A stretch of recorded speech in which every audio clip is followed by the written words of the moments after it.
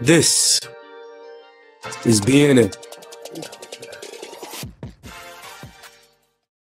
Bruin News Now is made possible by the generous support of C Spire, Capital Ortho, Orange Theory Fitness Hattiesburg, Sal and Mookie's Madison, Blue Sky Landscaping and Maintenance, and Blank Plus. Good morning, Bruins. The week we have all been excited for is finally upon us. It's homecoming week.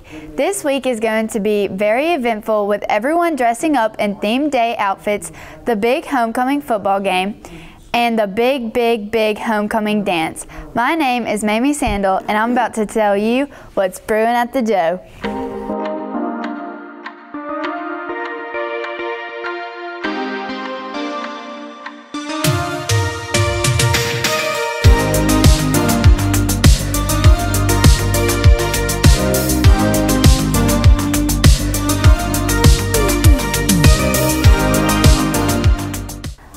Listen up, Bruins, because today is very important. If you plan on dressing up this week, let me tell you what the attire is. Of course, as you can see, today is Jolly Rancher, so everyone is dressed up in their Western outfits. Also, today we will be having a pep rally. On Tuesday, Airheads versus Nerds. Wednesday will be Mike and Ike. Try and dress up as an iconic duo with your friend.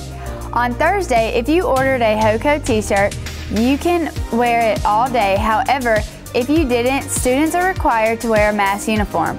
Lastly, on Friday, it will be blue and gold, so be sure to rep that blue and gold. Thursday has a lot. To begin, we will have Mass at 9.15. Junior high football travels to play Park Place. Volleyball will go to Hartfield with middle school at 4, junior varsity at 5, and varsity at 6. Here at home on the Bill Rayfield Field, junior varsity and varsity girls soccer will play against PCS, with the first game at 5 and the second game at 6.15. Lastly, softball will be traveling to Central Holmes to play against them.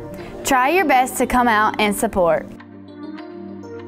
Finally, on Friday, the big homecoming game against longtime rival Greenville St. Joe will be, of course, taking place here at home.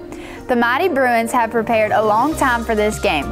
If you would like to attend, I definitely recommend getting here very early to get good parking and good seats.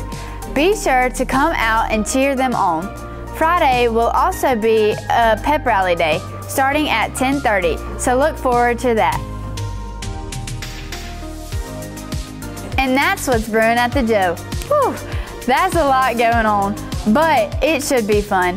Thank you so much for sticking around. Look for the BNN Midweek Pause on Wednesday and the next full-length edition of our weekly newscast, Bruin News Now, which will be available Friday morning also on the BNN YouTube channel. Until then, remember to like, comment, share, and subscribe to our YouTube channel, where you will find this episode in an archive of all the student-produced programming. I'm Mamie Sandel, and let's make this homecoming the best. Bye, Bruins!